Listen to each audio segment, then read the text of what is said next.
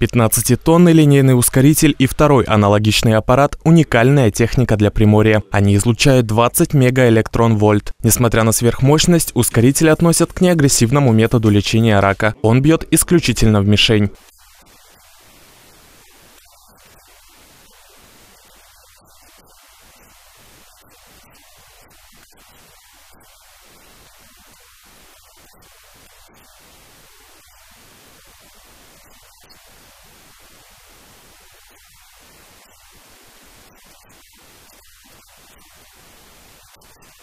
Эти сверхточные аппараты смогут выжигать опухоли диаметром в 1 мм. Раньше жители Приморья могли получить такое современное лечение только за границей, в Японии или Корее.